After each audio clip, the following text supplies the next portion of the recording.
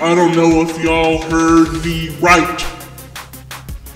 If you up stacking money and blowing loud all damn night, you better smash that motherfucker.